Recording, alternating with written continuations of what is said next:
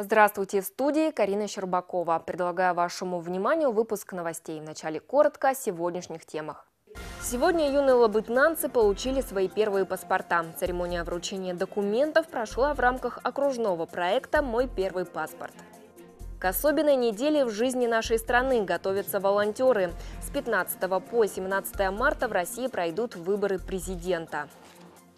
Детский сад «Снежинка» присоединился к акции «Моя новая старая игрушка». На избирательных участках ребята смогут обменяться тем, к чему уже пропал интерес.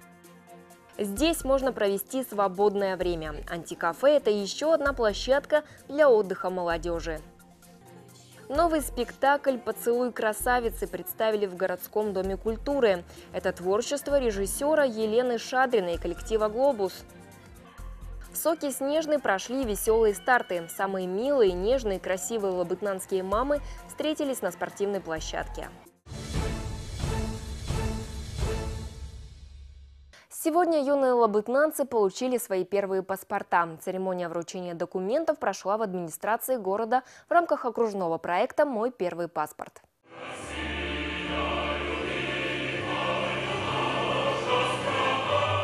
Проект губернатора Ямала «Мой первый паспорт» стартовал с начала года. Все для того, чтобы повысить патриотические чувства молодежи. Этот ответственный день запомнится подросткам надолго. Буквально через пару минут они получат главный документ своей жизни.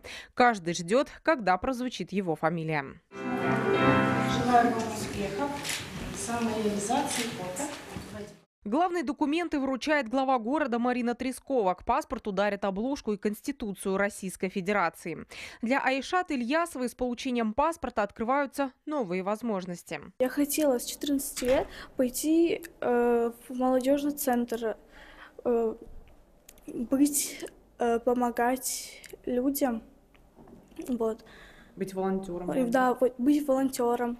Буду работать, помогать родителям, зарабатывать деньги. Подростки получают паспорт, а вместе с ним и список новых прав и обязанностей. Уже в этом возрасте они должны понимать, что значит быть ответственным гражданином. Дарья Самородова, Григорий Волков, информационное агентство Лабытнанги.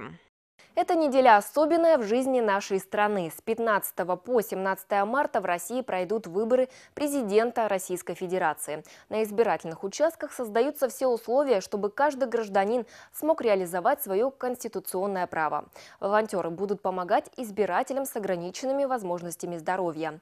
Для добровольцев провели обучающий семинар.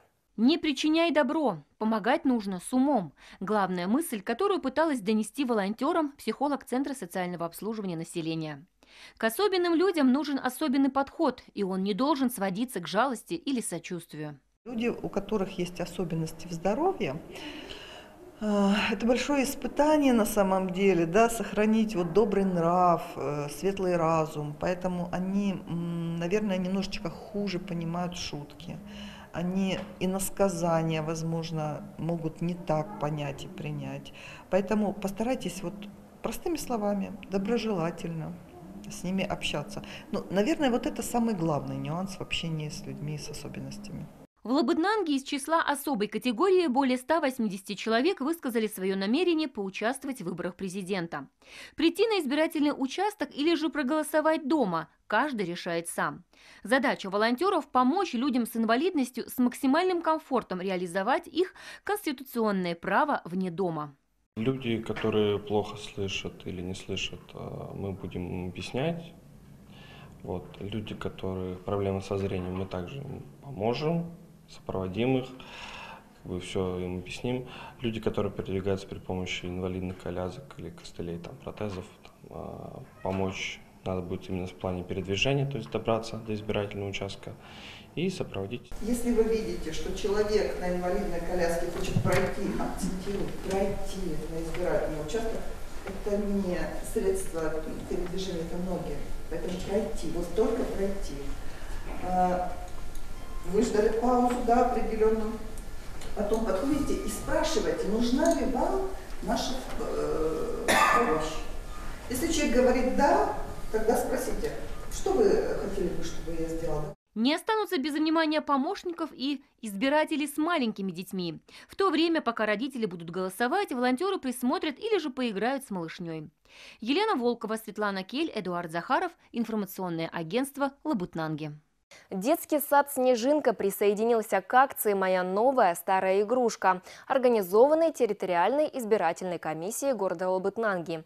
Воспитанники всех групп дошкольного учреждения не остались в стороне и пополнили фонд доброй акции плюшевыми мишками и куклами.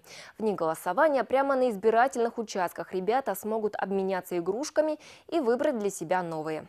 Плюшевые зверята и пластмассовые машинки. Все эти игрушки принесли воспитанники детского сада «Снежинка». Свой вклад в добрую акцию внесла и девочка Дарина. Мне эту игрушку на день рождения подарили. Да, а ты решила с другими детками поменяться, да? Акцию «Моя новая старая игрушка» избирательная территориальная комиссия города Лабытнанги впервые организовала в прошлом году. Дети, приходившие с родителями в день выборов на избирательные участки, обменивались игрушками и книгами. Такая возможность очень понравилась ребятам. В том году на выборах была акция «Моя старая новая игрушка», и многие родители, э, которые водят детей к нам в детский сад, они приняли участие. И всем эта акция очень понравилась, все делились впечатлением. И когда в этом году а, ТИК объявил, что акция будет продолжена, мы решили всем учреждениям принять в ней участие. Думаю, детям будет приятно, когда они придут со своими мамами и папами а, в день выборов на избирательный участок и смогут поучаствовать в этой акции.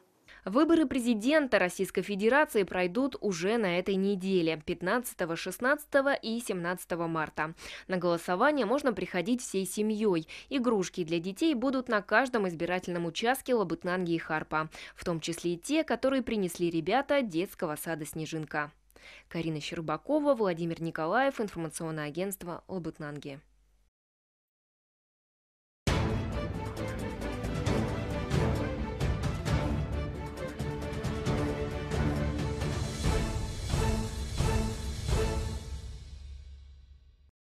В Лабытнанге появилась еще одна площадка для отдыха молодежи. Антикафе расположилось в библиотеке семейного чтения и наверняка станет очередным центром притяжения. Теплая обстановка и хорошие друзья помогут провести свободное время интересно.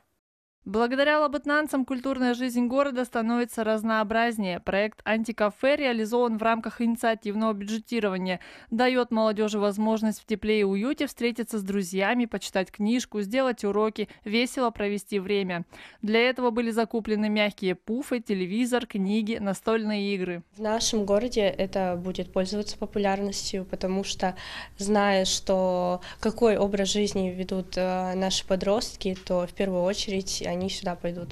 У этого проекта большое будущее. Будет привлечена молодежь, э, возможно, даже какие-то активные семьи. Библиотека находится рядом с нашим домом, поэтому мы сюда иногда заглядываем. И сегодня были приятно удивлены вот такому времяпрепровождению. Проект классный, буду приходить обязательно.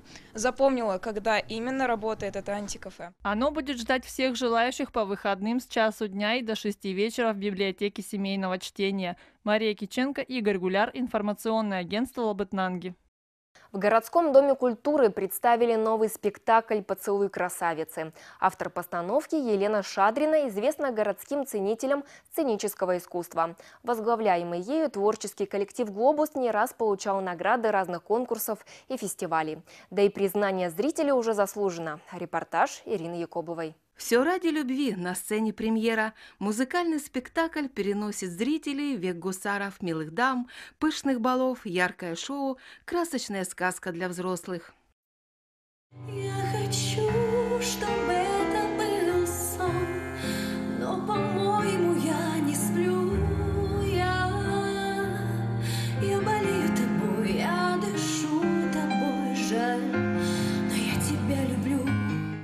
Сердечные истории переплетались с веселыми ситуациями. Артистам удалось отлично вжиться в образы своих героев. Все они участники театральной студии «Глобус». Спектакль «Поцелуй красавицы». Новая работа творческого коллектива. Я планировала про декабристов, про жен декабристов, что-то такое сделать.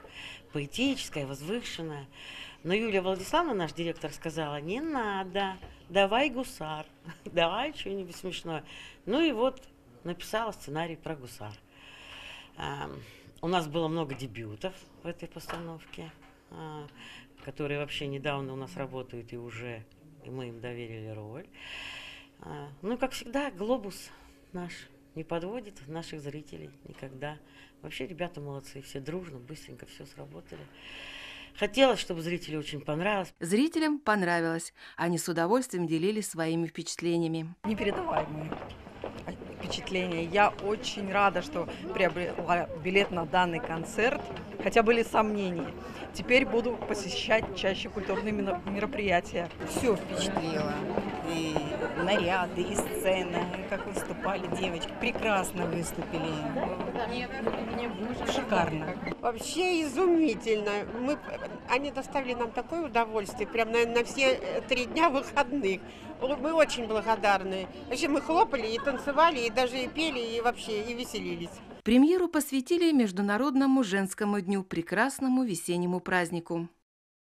Время года весна э, символизирует э, пробуждение природы. И все, что самое важное, рождение, пробуждение от слова род, э, конечно, связано с женщинами.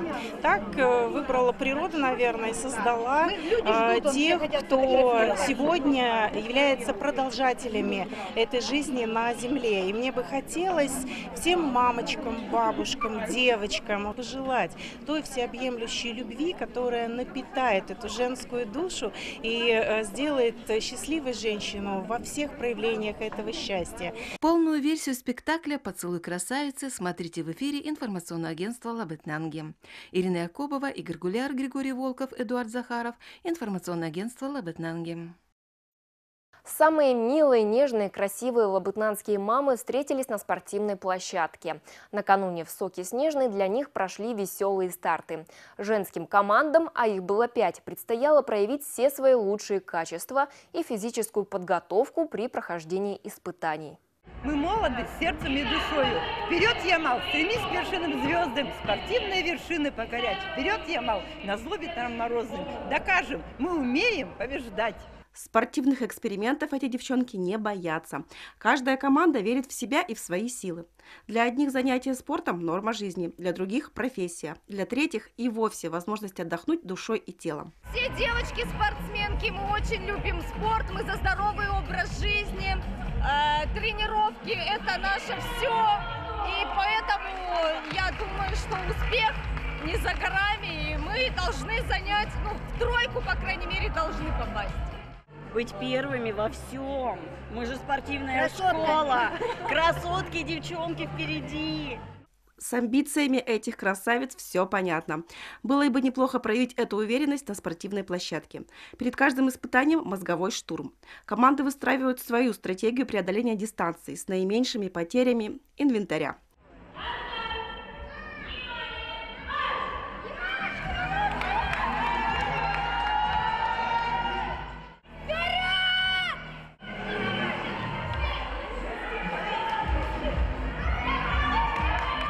Современные мамы, они такие.